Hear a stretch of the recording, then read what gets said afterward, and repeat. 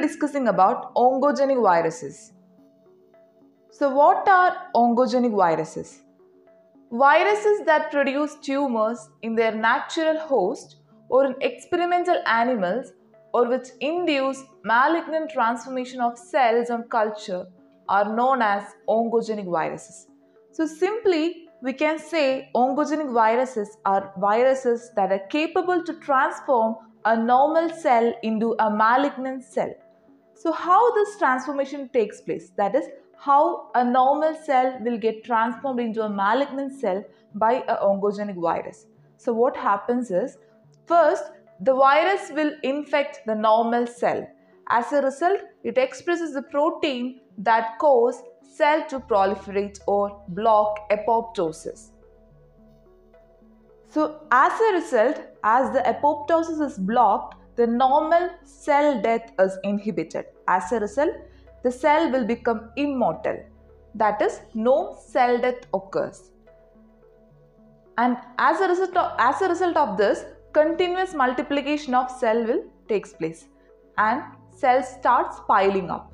The primary change in a transformed cell is the change in morphology. So usually the transformed cells have altered shape and they lack the property of contact inhibition. We know cells divide or cells multiply by cell division. The normal cells have a property of contact inhibition. This property of contact inhibition will prevent the enormous or uncontrollable proliferation of cells by cell division. So, this, mal, this malformed cells or this uh, malignant cells lack this property. As a result, the cells will start piling up. There will be piled up growth of cells resulting in formation of microtumors. Moving on to what are the major viral cancers. First one is cancer of cervix, cancer of liver, certain leukemias and lymphomas like Burkitt's lymphoma, uh, Kaposi sarcoma.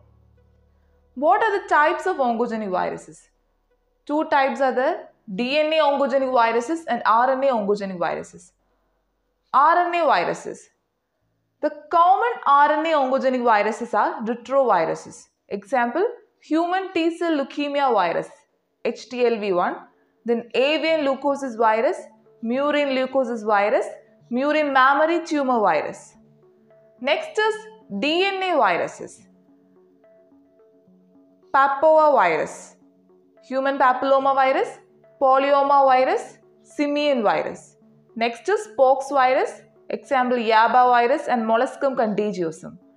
Next is adenovirus, then herpes virus, common herpes virus. Last one is hepatitis B and C.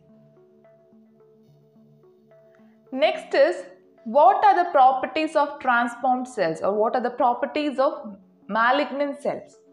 First one is altered cell morphology. That is, the fibroblast will become shorter and the parallel orientation is lost and we can see chromosomal aberrations. Second property is altered cell metabolism. The, there will be increased growth rate, increased production of organic acids and acid mucopolysaccharides. Third point is altered growth characteristics. There will be loss of contact inhibition there will be formation of heaped up growth that is piled up uh, piled up cells called as microtumors then capacity to divide indefinitely in serial culture capacity to grow in suspension or in semi solid agar. Next property is antigenic alterations that is there will be appearance of new virus specified antigens like T antigen loss of surface antigens cells become agglutinable by lectins. Last property is capacity to induce tumors in susceptible animals.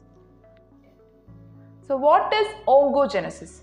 Oncogenesis is the result of genetic changes that alter the expression of proteins that plays critical role in, con- in controlling the cell growth and division. What are oncogenes? What are viral oncogenes? It's also called as V-onc or cancer genes.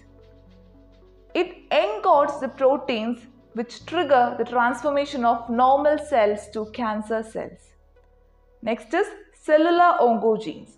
Cellular oncogenes are the oncogenes isolated from cancer cells and proto-oncogenes are the genes found in normal cells. That was a brief discussion about carcinogenic viruses. Thank you.